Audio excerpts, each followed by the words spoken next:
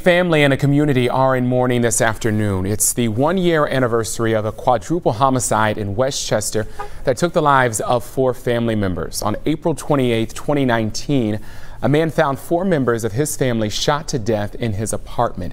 The victims were his wife, Shalinder Kaur, her mother and father, Hakikat and Parmjit, and his wife's aunt, Amarjit Kaur. A few months later, police arrested the man, Gurpreet Singh, for the murders. Now, we spoke today to the prosecutor and one of the family members.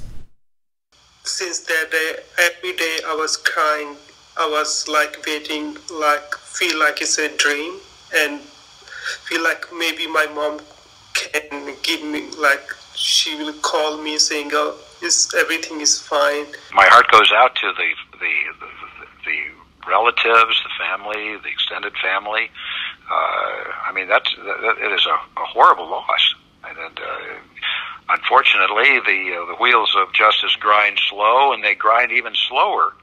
Uh, when you have the uh, the problem that every prosecutor and, uh, def- and defense attorney, for that matter, in the state of Ohio is facing with, this, with respect the. And the prosecutor says that trial will now likely not happen until March of next year. Singh's defense attorney says it's unfair that his client must wait so long in jail without bail. The couple's three young children are now living with relatives in California.